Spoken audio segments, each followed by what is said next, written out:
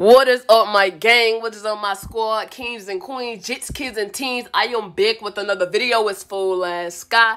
And today we got my dude the Choppa, YBX, and Choppa baby mother Mariah in the office. Now I know a lot of you guys be in your feelings and your emotions when I call Blasian YBX, but the only reason I call her YBX is because a lot of supporters only know her by that. But let's get straight into it. Let me not talk you guys head off. So allegedly, Blasian has been throwing buku shade at Mariah, and Mariah and her supporters have finally spoke up. Here it reads, he got a dime, now he ain't stressing about no penny. Now this is a disclaimer. I don't know who Blasian is referring to when she says penny, and I don't know who the dime's supposed to be. I'm guessing herself.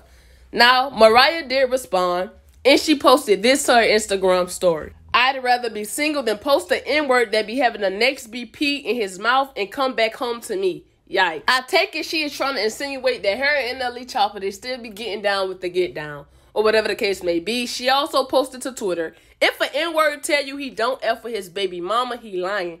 Gotta know that. She also said, This mess is so funny. Now, look, I'm gonna just say this. And I know that Mariah was defending herself. Being that Blasian, you know, she was throwing shade all week, all last week.